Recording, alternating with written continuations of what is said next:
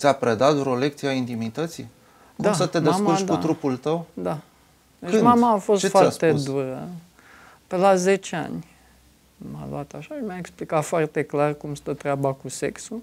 M-am speriat. un pic. Te-ai speriat? Da, da, da, păi n- bă, n-aveam nimic de a face, dar mama mi-a explicat foarte dur. Uh, și Și foarte explicația- aplicat, adică... Da, da, da. Deci explicația aia a fost foarte clară. Cred că a fost și foarte pragmatică. Deci noi eram, steam, în momentul acela eram nouă într-un apartament de vreo 60 de metri pătrați și trebuia să dor- eu dormeam în pat cu vară mea, care era la vârsta adolescenței și cred că deci asta a motivat-o pe maica mea să zică, băi, stai, fii atent. Deci aici, da. Nu întrece limita, nu întrece Nu, nu, măsura. mi-a explicat foarte clar despre ce e vorba.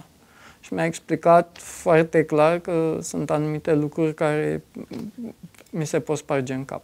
Și mi-a dat exemple foarte practice din familie, unde am avut câțiva veri care au fost forțați să se căsătorească foarte devreme. Cât de devreme? 10, vârsta la care... 12 ani, da. discut-